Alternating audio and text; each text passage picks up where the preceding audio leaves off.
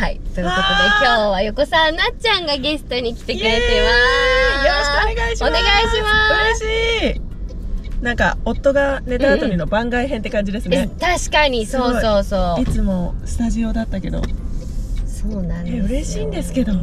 私もめ嬉しい。ちゃ。くちゃミキティさんの YouTube 大好きなんで このこの画角もすごい嬉しいですよ。嬉しい、はい。私も嬉しいよ、本当。ショスさんじゃない人が座ってるって思いながら。いやなかなかさあの夫が寝た後の収録中じゃ足りないのよ時間が。本当に。結局そう。スタジオ飛び出してそう。車で運転してまで。喋ってる。であの扉から入ってくるじゃないですか、うんうん。あの扉の直前までずっと喋ってますもんね。裏でね。今日風邪ひいちゃいましたとか言って。えとかって。ねどうしたんだとかじゃあ今日誰預かってんの？とかって言いながら。3、2、寝たねギリギリまで必死。本当そうです。喋りにたいことが山ほどすぎて。だからもう今日も入ってからもうあミキティさんいると思ったらこんな最初から喋れんのと思って嬉しくいやでも面白い。ていやでも喋れば 喋るほどなっちゃんがちゃんと真面目に子育てしてることに私は本当衝撃を受けてる。違うんですよ。もともと真面目なのかもしれないんですけど、うん。その手の抜き方がわからないんです。だからこれでもめちゃくちゃ手を抜いたんですけど何を手抜いたの逆に？だから本当朝ごはんとかも、うんもうスープ作らない、うん。もう本当毎に日作ってる。朝？なんかインスタとか見ると、うん。朝ごはんの簡単スープとかめっちゃ出てくるんですよ。インスタなんか見ちゃダメだよ。マジで マジで。でみんなあんなのキラキラしか載せてないんみんだから。なスープ飲ましてんだと思ってうちも飲ませなきゃってすごい思って。いやだから味噌汁残ってたらラッキーだねみたいな前日の。そうそうそやっぱそれでいいんでうすね。でもそれすらももう温めない時あるよね そうそう。でじゃあ何を食べさせてるんですか？うちなんてもうはい本当にお昼までお腹が持てばいいと思ってるから、はい本当ふりかけご飯とかの時もあるし、はい。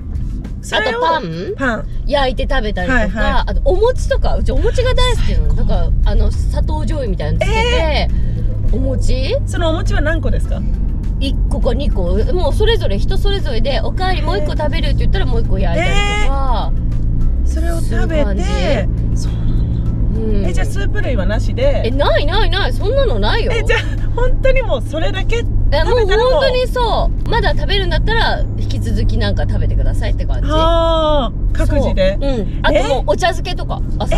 最高。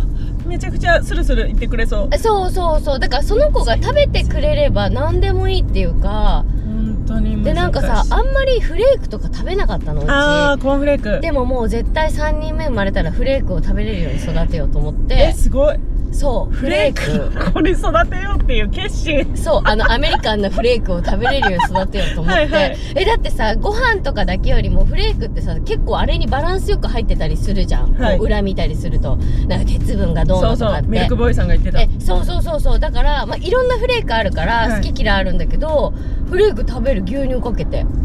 へえでもそれでお昼まで持つんだ。持つ持つでさ保育園だからさお菓子の時間あるじゃん。朝のおやつの時間みたいな。あれでいいんだよ。でお昼だって早いじゃん。そうですね。そう11時ぐらいにもう食べそうでしょ。始まるから。11時ぐらいから食べ始めるから。そうだから全然でもうちは足りてんのかなとかもう最初の頃とか、うんうん。やばいなんか牛乳とかお茶とかうん。飲み物飲ませずに生かしちゃったと思って、保育園の先生に「すいません」とか言って「あの飲ませずに生かしちゃいました」って先生なんて言う？大丈夫ですよって。保育園で飲ませますよ いや確か教えてく本当そうだよ。保育園に水もお茶もないわけじゃないんだから飲みますよ。どうしようと思って喉カラッカラになったのだからそうだよ。不安とか心配が勝ちすぎてでそれで電話して夕方に「お母さん心配しすぎだから」ってそうだよ先生に言われて「あ 本当変な電話しちゃってすいません」ってそこの時はすごい確かにお茶も水もあるうん。施設なんだってすごい思うんですけどすごい不安すぎて怖くなって。本当そうです。でもだから、保育園で連絡帳とかに、そうおかわりたくさんとか書いてあって。う んめっちゃ食べてんじゃん。めっちゃ食べ足りてないじゃんと思ってだからそれもすっごい恥ずかしくて。足りてないんじゃなくて、はい。い、いじゃん保育園のご飯いっぱい食べてくれるってめちゃめちゃよくない？本当になんかすごいあげてない家みたいな感じじゃないえですかそんなことないよ。だからすっごい恥ずかしいじゃん私はもう保育園でいっぱい食べといてって思ってる。もう栄養も管理されたご飯本当ありをがたいそのために保育園行ってるようなもんなんだから。ね。からもうそれでいいんだ。結局も。うだからもうそういう話もうん。朝からできたからすごい私は嬉しいんです、だから朝ごはんそうかお餅1個でもいいんだとか。そうそうそう食べるものとにかく腹にたまるものを食べてもらったらいいってことですよね、あそうそうそう。もう本当に昼まで持てばいいっていうか。そうですね。そほんと次女が全然食べなくて、うん。パンの耳しか食べないんです。綺麗うに、えー、で白いところ、その食パンの白いところなんか塗ってるの？何も塗りたくないって言って。耳が好きなんだってえ耳が大好きって言って耳食べて。ー、かわいい。耳普通嫌なのにね。で長女は耳残しがち。そうなんです。だから長女の耳を耳ちょうだいとか言って、かわいい。でも耳だけじゃ絶対お腹たまんないからたまんないだったねらなんだ？とか言ってて、うんうんうん。もういろいろ試行錯誤してたんですけどでも本当、でももうそしたら耳だけあげたらいいじゃんいっぱいえ長女は逆に白いところ食べてくれるとかないの？あ長女は白いところほ大好きだかららその補い合ってるめちゃめちゃいいじゃん。耳担当と白いとこ担当で、うんうん足りるんですか？本当それで。そうだよ。うちだって食パンとか出してあのもうジャムとかをお皿にベッてつけて、うん。もうちょんちょんして食べてみたいな、えそうそう。えー、塗ってない、うん。すごすぎ。あ塗る時もあるけど、はい。もうちょんちょんして食べてみたいな。もう醤油システムってことそうですね。そうそうそうそう確かに。そしてなんかこう楽しいじゃん。めっちゃディップ。ディップスタイル。そう。超おしゃれ。あと謎に海苔巻きにご飯とかも海苔巻きにしてあげたりする食べたりとか。で切らずにねそのまま恵そうですね。方巻きのように食べるはいはいはいはい。確かに。そうなのそうなの。それいいだからそう海苔巻きにすると一気に食べます。だからそのうん。うん夫が寝た後にで、う何にもない日の手巻き寿司って言ったじゃないですか、うんめちゃくちゃうちやってます。あ嘘。もう何にもない日の手巻き寿司が一番ごちそう。そう。そうでしょ。めっ手巻き寿司ってちゃ食べるんだよ。で特にそんな具も何もいらないし、うんうんうんうん。ただただ海苔とご飯さえそう。出しとけば。そうなのそうなの。これ左側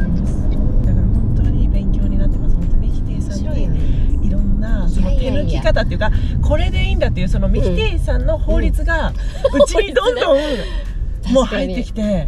いやでもまだまだガチガチの法律で生きてるよなっちゃん本当に。本当ですか？本当に。私はもう何何はやめられるかなで探すもんもはや。え私は何が普通なんだろうで。ええ普通ってなんだろうと思ってめっちゃ探してるんですよ。でも普通なんてないんじゃない？だからその子が無事一日あの眠りにつければいいんだよ。もうそこがゴール。そう。そうですね。そこそこさえ行ったらもう勝ち。もうこっ勝ちちのもう。もうその間は大丈夫。楽しく過ごしてくれれそうば、ですね別にもう何でもいい、は確かに。そうでもさ小学校とか行くと本当になんか朝は決まってるし、うんうん。勉強とかさほらしなきゃいけないから、うんうんうん。やっぱり集中しなきゃいけないから睡眠時間とかはある程度守ってあげなきゃいけないなとかはあるけどに？だから私も寝る時間とかもめちゃくちゃ怖くてもう早く寝かせなきゃねよ。もう追われててうん。19時半に消灯してるんですけど、その19時20分とかになって「あああと10分しかないじゃん」って言って もう自分のルールにもう 縛られてる。もうそうなんです。首絞められてもう辛い辛いって思って。間に合わないけよとか言って誰に怒られるわけでもないのに。間に合わなくても。うちだって、まあ、9時に基本寝てるけど、はいはい。もう今日は遅かったから9時半に寝てねみたいな。ああ、うん、そうそうそうえ遅かったっていうのは朝起きるのが遅かったあうんうん。なんかこうやることが遅くなっちゃってお風呂とかいろいろ遅くなったから、そうなんかお風呂入ったらもう早く寝ろじゃあちょっとあれだから、うんうん。じゃあちょっと9時半に寝てみたいな。その目標時間をちょっと変えて、そうそう9時半までいいよみたいなその代わり明日グズグズしないでねみたいなまあもうさもう大きいから会話が成り立つかはいら、はいはいはいそうそうそうそうやってるけどるのかそうなるのか。そうだよ。だからもう19時20分とかにお風呂入ってる時とかもう地獄もう。やばいねやばい。間に合わない。髪乾かしてたらもう間に合わない。すぐ寝室行くんだみたいな感じでけんだけど。めっちゃでも長女寝られない寝られないそうなんですよ。もうやっぱり長女は4歳だからもう、ね眠れないよとか言って。え保育園はさその今4歳だけどお昼寝するのか？お昼寝してるんですよ。えお昼寝しない保育園なんてあるんですか？えあるよ。なんか、え？あの結構大きくなってくると、はい。あのもう小学生の準備とかって言ってもうお昼寝しないで遊ぶよね。年長さんとかはね年長うんどうなんの？6歳とかどうなんだろうね。もう寝られなくなってくるじゃん。体力有り余ってるしさ。なんか早お迎えとかで行った時とか、うんめちゃくちゃ年長さんがうん。なんで来てるの？みたいな感じで。お寝てないんだよ。だからみんな起きてるんだその横にはなってるけど、4歳はまだ寝かせるのか。でも2歳と今9ヶ月はうんうん。もう7時半でもう古典なんですよ。そうだよね。だから3歳過ぎて体う力ん。有り余ってきますよね、うん。でうちが4歳じゃん一番下が、一番下の4歳はお昼寝もう基本的にしないのね。幼稚園スタイルだから。でし、はい。寝ないともう帰りの車6時7時ぐらいにもう気絶してる時ある。ええ私本当季節で思い出したんですけど、あのネットニュースでそれも見て、うん。ミキティさんが夕方15分の気絶って言ってて。してる。めっちゃ面白い。気絶しない？やすっごいわかると思って、うん。もう限界みたいな。そう。でもだって6時ぐらいに起きてるでしょ？そうですそうです。だから私も6時ぐらいに起きてるからそうですよね。本当に3時4時とか本当地獄じゃない、はい。もうもうダメだやばい？みたいになります、うん。でこっから夜の部行けないと思ってその夜のもそう。寝かしつけとかまでわかる。持たないってなって、夕方ちょっとだけ寝かしてって言ってほんと15そう。分寝る時あります？寝る。目覚ましかけて。えそすごい。でも本当だからギリギリの状態で働いてるんだと思うギリギリだよ本当常に。ねえ家のこともあるしさ。うそうですよね。ねだからこの間もその、え、うん。朝、うん。そのお弁当作ってるんだって思ったらもあう1個タスク多いじゃんいやでもお弁当つってもこんなちっちゃいからもう入れるのが大変なぐらいすぐいっぱいになっちゃう。本当ですか？だって、うん、じゃあえでも朝、うん。ご飯とは違うものを作ってるってことですか？だって朝のご飯はうん。もう基本もはやセルフみたいなもはいはいんだから、はいはい。好きなもの食べてっていう。そうそうそうそう。お弁当今何人作ってるんですか？今一人だけどあこっちか一人だけど中学生になるからそうトラちゃんがお弁当になるの。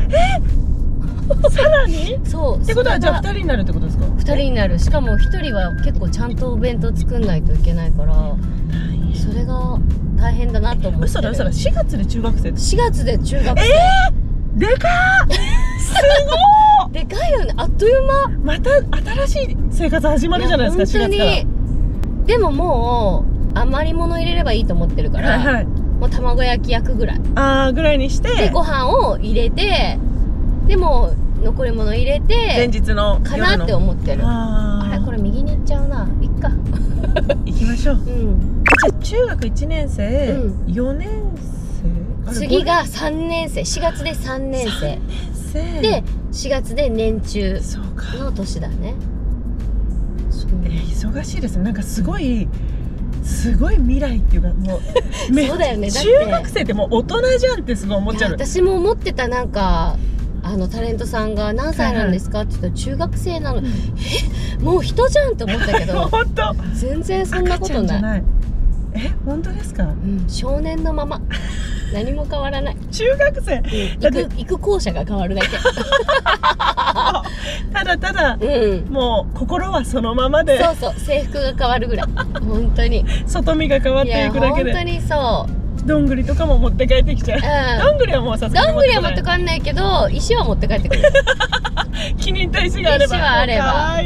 棒とかさすごい。持って帰ってくる。中学生になる。またいろんな悩みになりますね。ねえまたより手が離れて。そうか。だって夫が寝た後にって、結構、うんえっ、と、うん、3歳4歳ぐらいのお母さん多くないですか？小学生もいるけど、うん。ねマザーズバッグって言ってるぐらいだから。確かに。その幼稚園ぐらいまでだよね。そうですよね。多いのは。そうだだからねこっからこの小学校の悩みとかになったらもう。小学校もなんか大変。悩みも大変。小学校も本当に。勉強しなきゃもあるわけじゃないですか。勉強もしなきゃもあるで私は習い事させなきゃもう今の段階であって、うん。何をやらせればいいんだっていうのもあるんじゃないですか、でもさ保育園行ってたらさ習い事とかはできなくない？ですそうです。できない。だから早くお迎え行かなきゃいけないわけでしょ。そこまでしてさせたいものがあればいいけど、でも保育園ってさ結構充実してない？なんかリトミック的なこともやってくれるしやってくれる保育園ありますよね。なんかちょっと体操とかもやってくれたりしない？マット運動とかさ。ありますあります、うん。確かに。平均台を登ったりとか。そうそうそう。だから結構やってくれてんだよね。プールこそはないけどそうですね。夏水遊びやすいじゃん、はいはそうそうか。結構だから保育園って充実してるよ体操ね教室と一緒なんですうんね、うん。だってでんぐり返しとかできるようにならない？でんぐり返しできるようになりねました、保育園行ってたでこの間、うん。初めて、うん。保育園のお友達からお手紙をもらったんですね、うん。え？G かける。字かけるじゃんってびっくりして。4歳ってことか。そうです。早い。え？すごい。え？やっぱ早いんですか？早いと思う。早いですよね、ううんちの子書けないじゃんって思って、うんいやでもねあとね第1子か第2子かっていうのもあるかもしれない、あ。でトラちゃんは全然書けなかったよ。ーへえ、年長でもそんな全部書けるってことはなかった。あ第二子は逆に書けるよそううになるんだ。なんか上が見て上が書いてるの見てるからへ鉛筆持ちたいが早いんだよ。えへえ。なんか第1子はさこっちが持たせないと持たないじゃん。確かにそうそうそう。第二子めちゃくちゃ書いてる。そう。だから第一子はそうそうそう。なんか線描きたいとかさ、はい。何でもいいから描きたいっていうのが第一子より早いんだよね、そうそうそう。へえ。だから多分いろいろ早いんだと思う。真似したいとか。でだからうちはなんか、それこそあの真剣ゼお友達がやってるって聞いて「うん。えー!」とかって言って「でもやったらすごい本当に読めるようになったのよ」とか「ええーー、本当に?」って言ってマジで真剣ゼミのあの？漫画みたいな感じで本当にややり始めて、でも読めるようにはなったんですよ。おすごでい。もでもそれ付きっきりでしょ結局。そうなんです。私もう本当焦って「すいませんあの来年分を一気に1年分全部取ることは可能なんですか?」とか言って、うん。全部根こそぎ取れるんだしかってでじゃあもうやれる時にやれみたいな、やってでもやっぱり本当付きっきりちゃんと教えないと。そうで結局そうなんだよね。そうなんですよね。だからちょっとおもちゃ感覚で遊び始めてっていうところで、でそのお友達のお手紙くれた子はクモンに習ってるって言ってあー。すごいクモンブーム来るじゃんってなって。もう私は影響されやすいから。大体うん。ママさんなっていや確かに。えーってなって家帰って夫に「えこういうのらしいよ。でみんなこういうの習ってるらしいよ」って言ってわかる。言ったら「いやみんな習ってないよ」ってうんうんうん。言ってあちょっと曲がりま「曲がってる大丈夫だよ」いやいやそうです。でさ、なんか東京は特になんかこう早いよね。はうんまた。うやらせなきゃやらせなきゃっていうのがそでも早くやったから身になるのか。だから中学校受験とかはする人も結構近所に多かったりするから、もう1年生から塾行ってそうそう小学校1そうもう年生から23年生で6年生の問題塾で解いてますとかっていうことがいるの。すごすぎ、そう。でもなんかじゃあ学校のテストその子は毎回100点なのって言ったら、うん。で100点の時もあれば95点の時もあるっつってえじゃあツータン塾行ってないのにその子よりいい時もあるわけでしょ、うんうんじゃあもう何がいいんだろうねみたいなさ。確かに。そうなの。確かに。そうそうえそう。ツータは何をやってるんですか？ツータンは今英語と、うん。えっとプール。へえ。となんかダンスは日曜日にこう家族で出かけなかったら予約してああ行くぐらいな感じ。英語は塾なんですか？英語は塾。それはなんかもう3歳ぐらいからい3時間ぐらい行くの。うんたっぷり。そう言ってたから、まあ、そのまま一応あー言っとくかみたいな。でも習い事が他のやりたいってなったらもうそっからじゃあ削っていくみたいな感じ。やめるっつってもうんうんまだ行くみたいな感じだから。そうなんですね。そうそうそう。へええその3時間の時はうん。送り迎えしてたんですか、3時間の時は送り迎えしてた。ちっちゃい時は。でも3時間ですもんね、うん。もう預けてるみたいなあもう感じですもんね。預けてる。学童みたいな感じ。へえそこれこれが YouTube になるって思ったら、うん。私何の話してんのって感じになっちゃう。本当に結局本当に。うなんでいいじゃない。でも番組の話はもうランチの時にしましょう。はい。何の話もなくただただ。いやいやいやでも教えてほしいか。結局そんな話をみんなしてるんだと思う。そうなんですよ。だから東京ってこういう街なんだって思うの。もうだからねなんか東京にやられちゃいけないなって思ってるの私。負けない。ここ左です。あこっちだ。ウインカーがそうなんか。東京に負けない。なんかさ あの同じ勉強するから。ああいうえよから始まるから。どこ行っても。そうなんですこれ合ってる1たす1このままから始まる。そうです。あそあそこです。そうそうそう。トラックの前だです。からいいのよ別になんか。あこれだ。そうです。着きました。もうあっという間。ちょっと早すぎ。全然話してない。何にも話してない。本当に。悔しい。だしすっごいゆっくり走ってくださいって言われたからすっごいゆっくり走ってこれ止まれんの？これこれなの？ということで、はい。銀座のリスタシックスさんに、ははいい着きました。ここでねランチしたいと思います、やったはいというのもねさっきね車の中でずーっと子供の話してたけど、はい。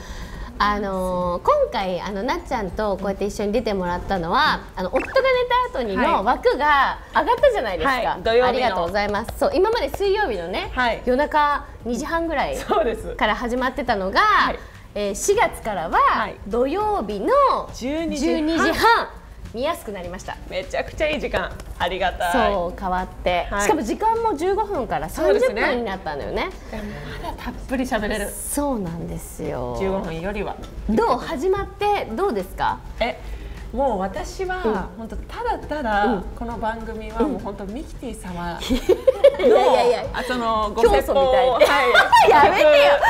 本当回だと思ってますのですっごい嬉しい。いやいやでも私も本当夫が寝た後にの収録の日はただただのもう本当ご褒美楽しい時間。本当楽しい時間。何も考えずにって言ったらあのスタッフさんに怒られちゃう秋山さんとか怒られちゃうけど楽しくあ今日は誰が来てくれるんだろう。あの人どんな子育てしてるんだろうとかっていう感じだよね。嬉しいですよね。そう。しかもなんかこのゲストの人もバラエティ番組で会わない人とかも結構出てくれるじゃん。アーティストさんが多めですもんあのモデルさんとか。もいるし女優さんもいたり本当にいろんな人が出てくれるから、あこういう人たちも同じ子育てしてて同じなんかイラッとして怒ったりしてんだなっていうのがすごい嬉しいし。すっごい嬉しかった、うん。なんかみんなちゃんと子育てなんかねそいっぱいいっぱいになってる姿とかも教えてくれて。えみんないっぱいいっぱい最高みたいなね。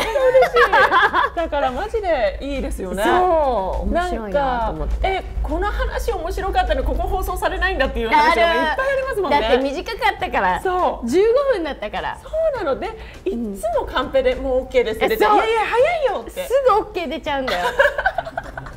そうだからまあ次がね30分になるから、はい。まあ、もうちょっとあの話がっていう話がね放送されるかなとは思いますけども。私ね番組でもなかなか聞けなかった、なっちゃんの慣れ初め聞きたいんですよ。いいですよそんな。本当に、うん。そんなだって意外に誰が知りたいや知りたいよ。だって結婚相談所だっけ？えなんだっけ？せ相談所婚活にパーティーすごいなんかそれは私はテレビで見てたの。婚活パーティーに行ってるっていうのめちゃくちゃ婚活パーティー足しげく通う女として。普通に通った普通の婚活パーティーに。普通の横澤夏子だってなるでしょでななったりしました。どうしてでも横澤夏子だって言われた人は、あよかったらこの単独ライブ来てくださいって言って単独ライブのチケッあトを売ったりとか、うん今の旦那さんは気づいてなかったの？全然気づいてなかったんですよ。え嘘だよ。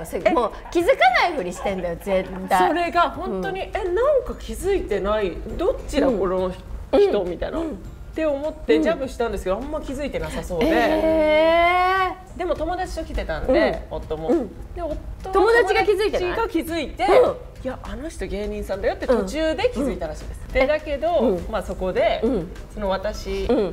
は横澤なんですけど、斜め沢さんですかって言われて、えちょうど面白くないと思って。ー、旦那さんに言われたの？この人とだったら、うんうんずっと楽しくの飲んでられそうって思って、えそこでだからマッチングして、うん。連絡先交換して、みたいな。え結構結婚までは早かったの？1年半で結婚。え1年そうですね。私すごい悩み相談の人には、はい。い、つもとりあえずアプリから始めてくださいって言ってんだけど本当そうですよね。どうやってそこから結婚にたどり着くの？